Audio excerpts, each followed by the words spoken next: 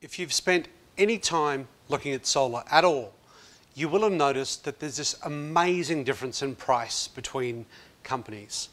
Uh, if you were looking at a 6.6 kilowatt system, you might see things for less than $3,000, all the way to six, seven, eight, nine.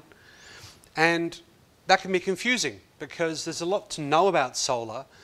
And often what people do is, in the absence of other information, they simply look at the bottom line and make their evaluation based on that.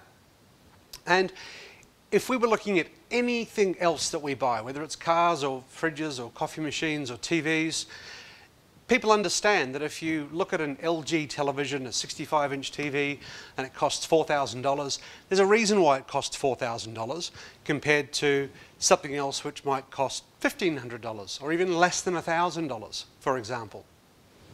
The issue that we have with solar is that we're not familiar with the brands and we don't understand what it is that we're getting, so we just look at that bottom line.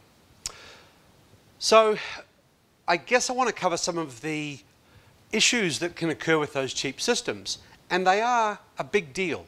So uh, a 2019 survey uh, by the Clean Energy Council said that one in four systems was faulty. So it really is a dice roll uh, if you're buying a super cheap system, whether or not it's going to do what it says for you. There's lots of ways to save money on a, on a solar system when you're installing it.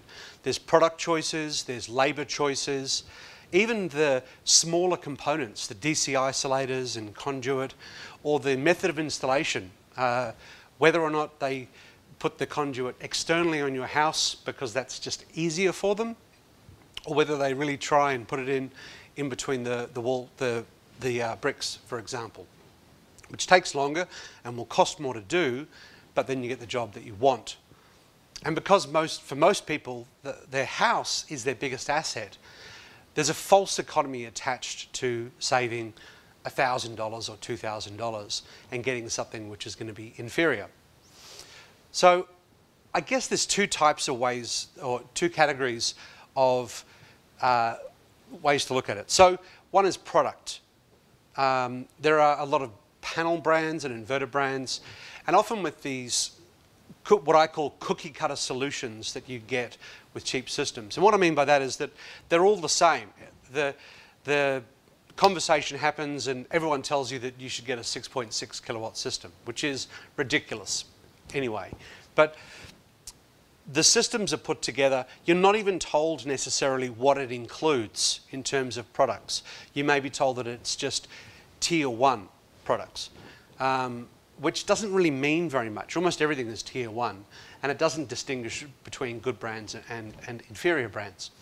So even if you are told the brand that it is, they will often have the right to substitute, and you won't get what you thought you were getting.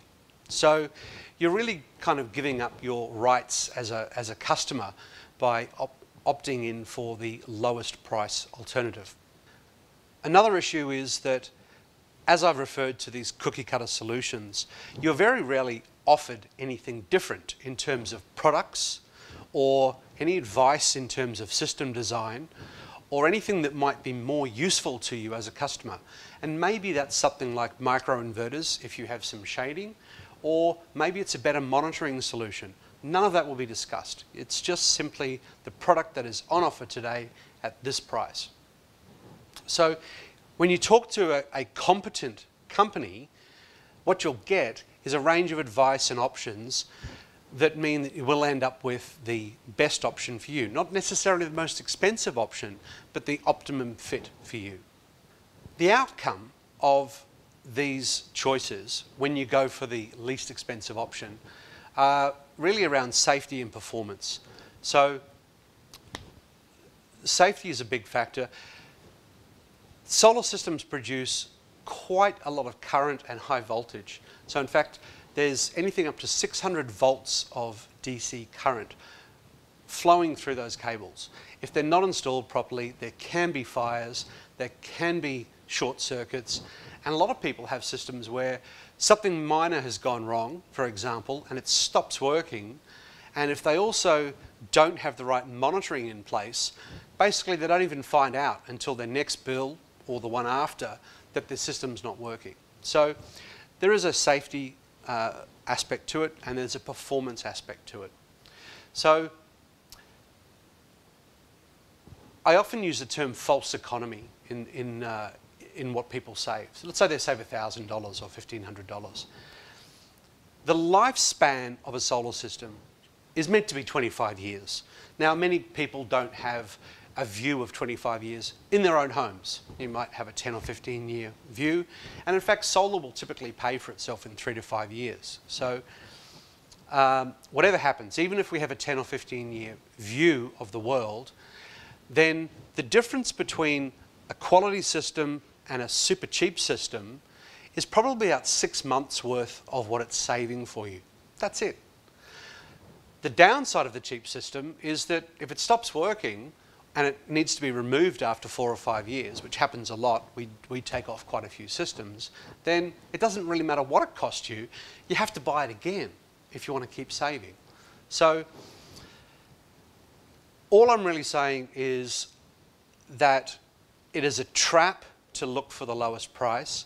We'd love to have a conversation with you and actually come up with the right choice of products and size and monitoring and, and the best design for your house. That way, you know, you will get a quality system. Thank you.